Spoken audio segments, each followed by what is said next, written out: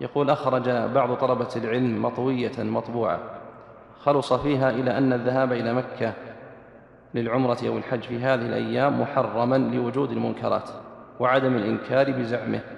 فما توجيهكم؟ هذا كلام جاهل في الحقيقة ومبالغة وغلو في الحكم الشرعي لا يجوز هذا الكلام. ومكة ما هي كما وصف الحمد لله فيها تحفظ وفيها ضبط وفيها أمن وفيها رجال الهيئة في المسجد الحرام وفيها الجنود وفيها فيها ضبط تام ولله الحمد. قد يحصل بعض الأمور غير مقصودة الإنسان يتجنبها. أما أنه يحذر من العمرة ويقول إنها حرام وأن المسجد الحرام ضايع هذا كلام مجازفة. ولا يجوز الكلام هذا؟ وهالمطوية يجب تمنع. نعم.